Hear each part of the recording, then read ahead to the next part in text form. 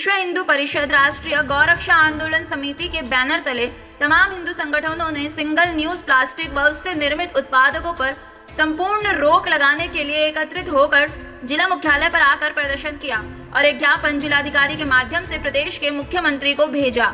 ज्ञापन में कहा गया कि सिंगल यूज़ प्लास्टिक कई सालों से पर्यावरण के लिए नासूर बन रहा है।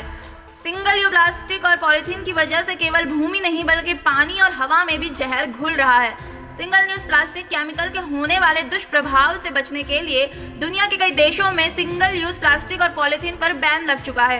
इसलिए राष्ट्रीय गौरक्षा आंदोलन समिति, विश्व हिंदू परिषद गौरक्षा विभाग सिंगल यूज़ प्लास्टिक से बनने वाले उत्पादकों पर निम्न कारण से पूर्ण प्रतिबंध लगाने की मांग करती है। जैसे बेसहारा गौवंश को भोजन समझकर खा लेता है। इस कारण लाखों गौवंश की दर्दनाक मौत हो जाती है।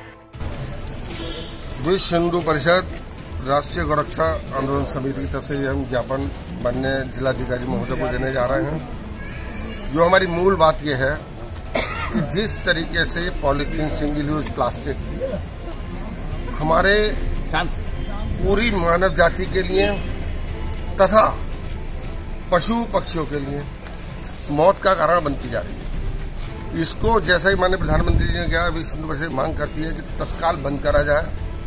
जो ये कचरा कूड़ा हमारी गौएँ खाती हैं। और लावारिस उसमें वो पशु उसे खा के मर रहे हैं। दिन बीमार हो जाते हैं। कितने बीमार होते हैं मर जाते हैं। उनका कोई इलाज नहीं होता उनकी दर्दनाक मौत होती है। हम महामहिम राज्यपाल जिलाधिकारी महोदय और राष्ट्रपति महोदय से सभी कार्यकर्ता से मांग करती है कि तत्काल इसको बंद करा जाए। और ताकि और गौ हत्या, जो कि जीव काट के उसको खा लेते हैं अपने भोजन के लिए, उसे तत्काल बंद कराया जाए।